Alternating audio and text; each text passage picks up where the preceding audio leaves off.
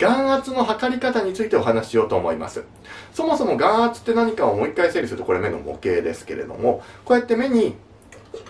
圧力まあこれが硬いやつなんですけどもこう触れば硬いですね。柔らかいゴムボールようなんだとこう柔らかくなる。この圧力を眼圧目の圧力っていうふうに表現してます。ですから検査の時どうしてるかっていうとよく空気ブシュって当てられて眼圧測っててるって経験ないでしょうか？あれ何をしてるかと言いますと目の表面からこう空気当ててくるんですね。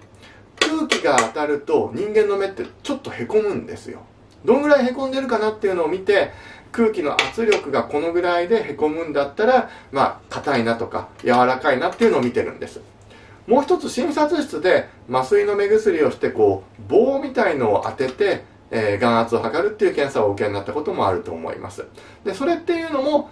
棒を当ててこのぐらいへこめば眼圧はいくつぐらいだなっていうふうに見ているんですね。ですから眼圧というのは目の圧力であるってことを知ってほしいんです。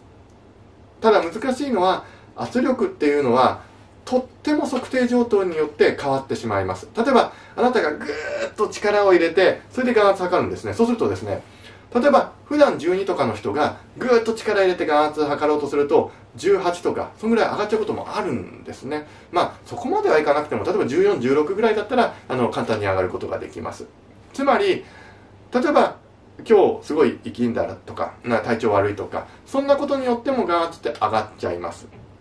なので例えばいつも12ぐらいで今日が14だって言ったからといって、まあ、どうすればいいんだろうってすごく心配される方いらっしゃるんですね。私の患者さんでも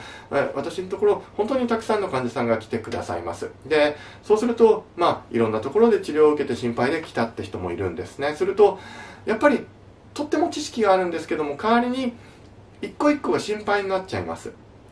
今日の眼圧はいくつなんだろう、まあ、ちょっとでも高かったらもうこのままで失明しちゃうかなってとっても心配されますけれども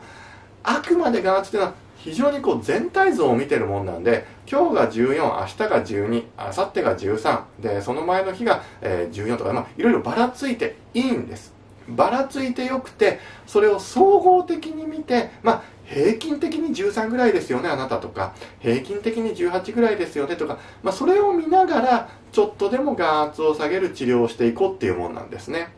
ですからじゃああの眼圧が、えー、いくつにならなきゃいけないっていうのは、えー、そんなにないわけです。で一喜一憂しちゃいけないけど大切な眼圧。非常にちょっとややこしいわけなんですね、えー、眼圧がいくつだったらいいとは言えないけれども最も大切って言われるので緑内障の治療っていうのは難しいものなんです。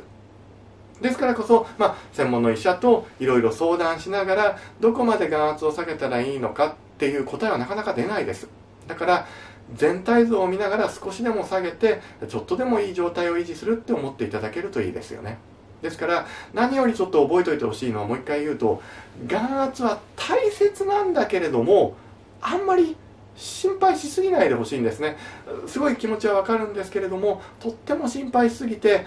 特に私のがん依頼あの重い病気の人たくさんいらっしゃいます。そうするともう今日眼圧測るのが心配で昨日寝れなかったって人もいるんですよ。そうすると